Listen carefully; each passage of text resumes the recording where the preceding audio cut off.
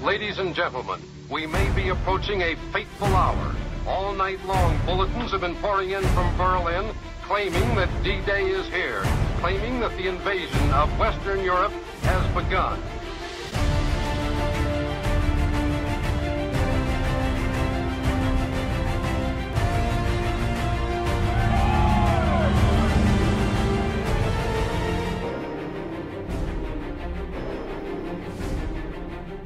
Going to do something a little bit different this morning. Kind of in my, our somewhat of a vision towards next year, uh, 2024, which is the 80th anniversary of D-Day. We're going to introduce a little bit of D-Day this year as well. So that's where we're going to start today. This is the first uh, of our presentations for this calendar year. And we're going to watch a film. And the film is about a group of uh, numerous DC-3, C-47 aircraft that gathered together back in 2019, the 75th anniversary of D-Day. And they flew over to Normandy to participate and also commemorate and celebrate that anniversary. So let's get right into it. Oh, and I did want to point out, this is a great photo of passing through Manhattan there and the aircraft smoking the fearsome T-6 Escort uh, of these things overseas. So with that, I'd like to introduce our wing leader, Kathy Newhart, who's going to uh, welcome you to the presentation. Hi guys, thanks for coming today. I hope you enjoyed the presentation. Um, I just wanted to say welcome. Um, how many of you are first timers? Well, wow, that's fantastic. Thank you for coming. I hope that you enjoy the presentation. After the presentation, please stay around. We have docents on call for you and they can give you a complete tour. Looks like the sun's coming out, so we'll be able to give you a tour of Ball out there on the ramp. We have two other hangars. So enjoy. Thanks.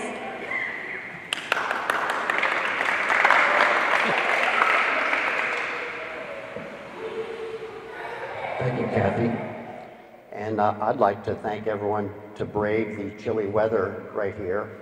Uh, I'm freezing, so I can't wait to sit down and put on my hoodie. Okay, here's what we've got uh, planned today. So we're going to get into the presentation, the film here uh, very soon. We'll start that off by looking at the map of what was both the original North Atlantic route when we started flying airplanes over to Europe back in the early 40s, and the exact route that these C-47s flew a couple of years back. Then we'll watch the film.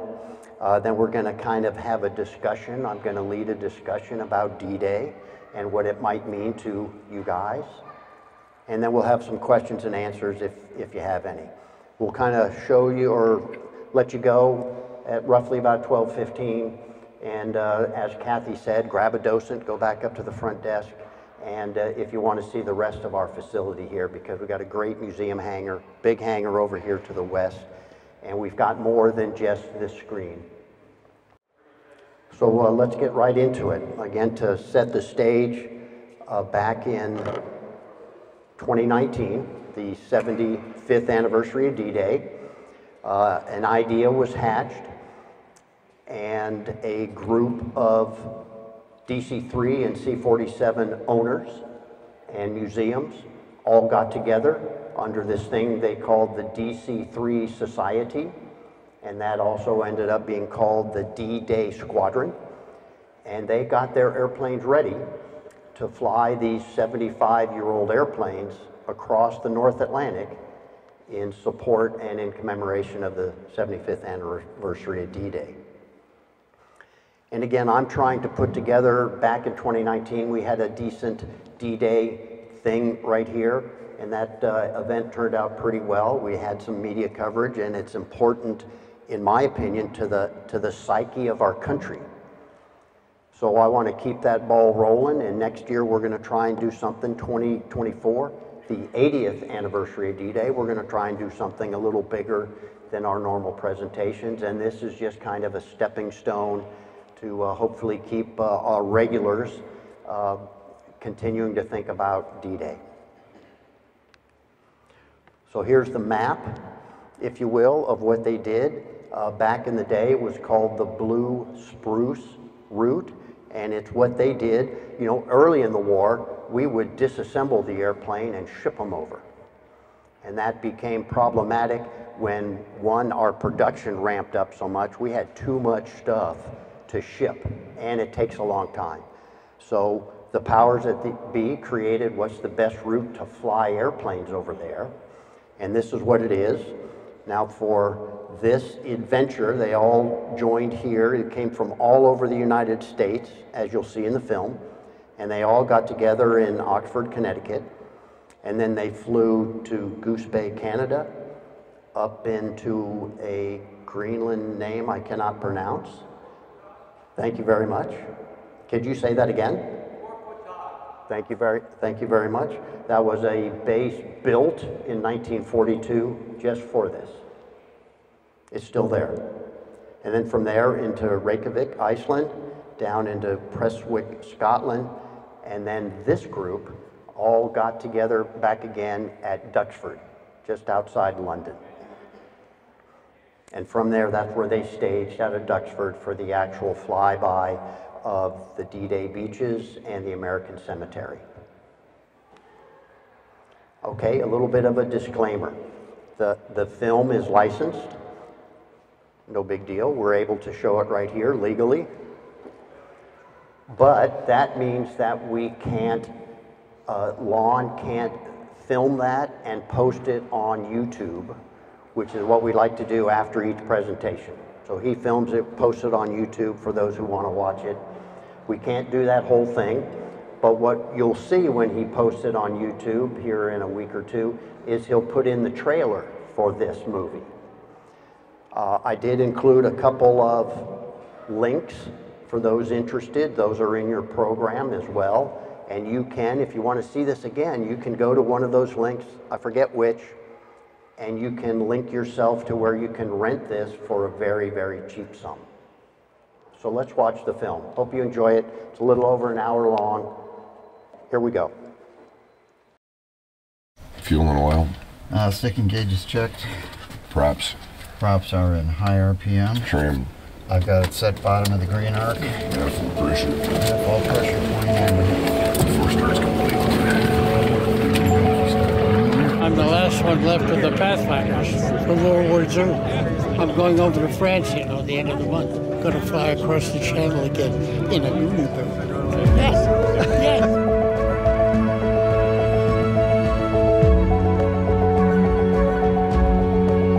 Got some big ocean crossings to do, and that's that's kind of the scary part. They have a soul. These airplanes have a soul.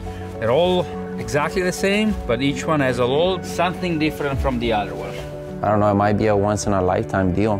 We came from a place that no kid could ever dream of being part of something like this. We're going to restore a DC-3 and we're going to fly it to Normandy next summer. Okay. I'm down. You know, we're all really excited to go make this recreation flight and, and honor the vets, but um, we're going across for pleasure, more or less. They were, they were going across to go to war. It was a great experience for a young kid, because that's what I was. It was serious business and a deadly business. One thing I'm glad I, I didn't get killed. We're doing this to let you know we, we don't forget your service. Every time I get in this airplane, you know, there's some 21 year old kid flying across the English Channel with 29 paratroopers back there, younger than him, getting their fanny shot off. It's just amazing what these young kids did back then. Oh, I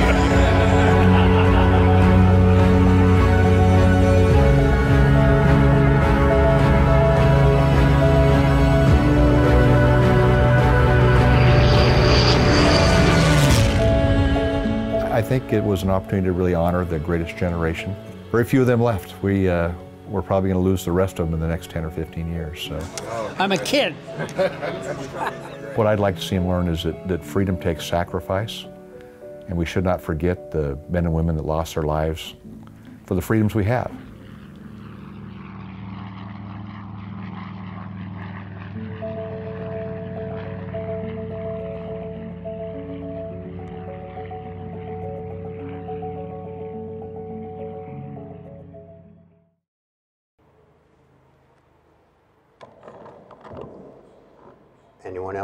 Emotional? Okay. I don't feel alone then. So, two things to, to start off, and then we're going to have Q&A. I'll do the best I can. Uh, but I want to start, there was one of the airplanes that was fairly prominently figured in there was D-Day Doll. It's a CAF airplane, lives over in the Inland Empire, and it's going to be here in August, so we've got several months, at our air show, our local Camarillo Airport Air Show. If you want to touch living history. So the second thing I'd like to start before I get into my questions for you is Gino. Gene O'Neill right here was um, walked the beaches of D-Day, Omaha Beach, and was there in 2019. What memories did it bring back? It brought back a lot of memories. Uh, two of was because I was honored to lay a wreath at Normandy Cemetery one day with the group that I traveled with. I was there two or three days. We went in early to Paris and went over to Normandy and saw all the beaches, fronts, battle soldiers. Very, very emotional. And just the reason is, I would have loved to have been in uh, That's All Brother. Yeah. And we saw Jeff Weitzel, one of our old settlers, flying in uh, Montana. But it wasn't to be. But I was very, very happy to see it from the ground. So you saw that flyover? I saw those 15 airplanes fly over many times. They crossed, they paralleled the beach several times, and then made a cross across the cemetery. And then they went inland for the jumpers. And when I flew to Paris, Tom Rice, the elder jumper, The jumper, yeah, 101. he was on the same airplane that I was on. So I got to speak with him at the LA airport and then again in Paris and got to, got to know him. So that was a privilege, a very, very good. Thanks, Gino. Okay, so uh, a little Q&A, and I'm going to start things off here. So let me ask, um, what does the significance of D-Day today mean to anybody? Anyone want to answer that? And from the perspective of either both uh, before you watch this and now after you've watched this, what does D-Day, June 1944, mean to you? Well, uh, for me personally, my name's Mike, I'm a docent here. Um, my daughter's in the Air Force, she was stationed in Venice, Italy. We went to visit her, spent four days in Paris, as well as Italy. We spent one day going up to the beaches of Normandy, and we were going to take the train up to Caen. The French trains were on strike, surprise, surprise. So we took a bus tour up there, and our guide on the bus was a French woman who, her parents lived in Caen during the war. Her parents' house was occupied by the Nazis for four years. She had quite vivid memories of that. And her, as she spoke about the tour that we're going to, she spoke about D-Day as the liberation of France, not the invasion. The Germans invaded. When the Allies came ashore, that was the liberation. And I found that perspective just incredible because it was completely different than anything I've ever heard. And I enjoyed that and I've shared that with museum visitors over and over it was the liberation. And my wife, who is not much of a history buff, stood on those beaches overlooking the bay, she stood there and cried. I'm about to cry right now thinking about it.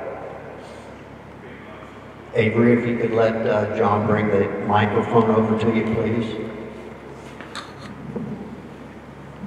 My father-in-law, Colonel Bob Carey, flew a P-38 over those beaches. And he took on a, a, a gun that saved a lot of guys on the ground and down by it. And that's the only battle I can remember that the United States fought without a, a, a way out for our guys. The only way they survived was to get off those beaches. And we were battling and stunning. We, we had everybody would get guys out. And a certain environment, job was to rescue pilots on the North Vietnam, not sitting into something with, with, out their way out, I mean, 18 tanks or not, pilots out. Amazing. So, who are my uh, who are my pilots in here I can pick on?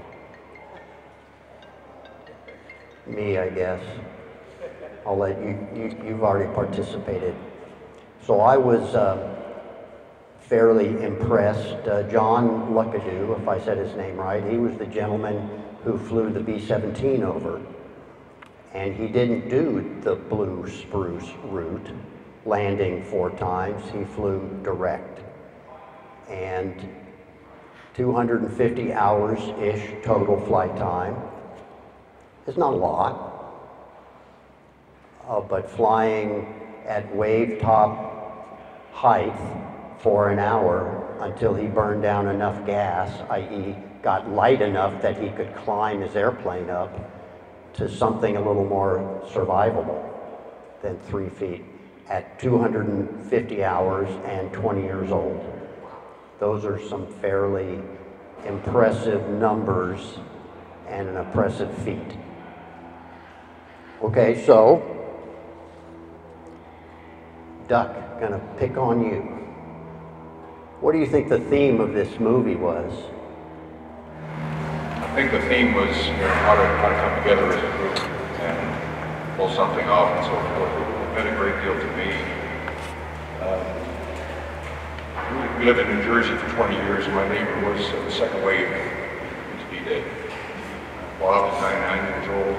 This past year, he was part of the West Defender group down in uh, San Diego that flies over Vets. He was on the charter flight uh, on Delta, flew into Normandy this year. And he started speaking to me about his experience. It was in the second wave, he drove a, it was called an M4, which was a powered artillery weapon. And he said the biggest challenge he had as it came off was avoiding the bodies on the beach. That Bob is, as I said, just celebrated his 99th birthday. He's already signed up June. He wants to go back. And uh, very emotional location, I imagine. Wonderful people. Thank you so much. Thank you. Yeah, so you got emotional too, didn't you? Okay, I'm going to pick on the young kids. So, somewhat near the end of that, there was the uh, younger guy, uh, Frankie Ortega, I think it was. He was a parrot parajump reenactor. And he talked about history from the perspective of living history. So he was there, he got to shake the hands of Tom Rice and some of the folks who were there. And so in the age of instant information on the internet, what I'll call archival history versus, you know, living history. Thoughts on archival history and what that means to you versus living history as best you may have experienced that. And what does that mean to you? Uh, I think that uh, archival history, which um, obviously is much more readily available to, uh, to access, even though it is much more readily available, um, it doesn't kind of foster the same like idea of like what, how like, how it affected like you and like how like the scale of things and that sort of thing.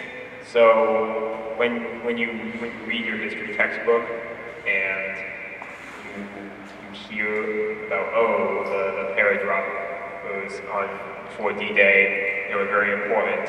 Like you can you can kind of think about that, but you can't really register like what like important means until you uh, you kind of observe what happens more so and just learn about it because you kind of you believe it more. Like you can accept it as true when you read something, but you kind of believe it when you when you see something. Great, thank you. I'm going to go backwards a little bit.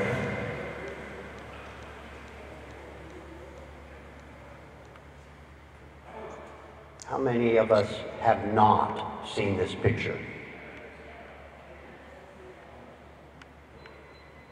Okay, one. Granted, you're in a you're in an older group here. So these are literally 18, 19, 20 year old men. And Avery said it best there's one way, and one way only, that they're going to survive this. And that's going to go, and that's to go that way. They can't go backwards, they're going that way.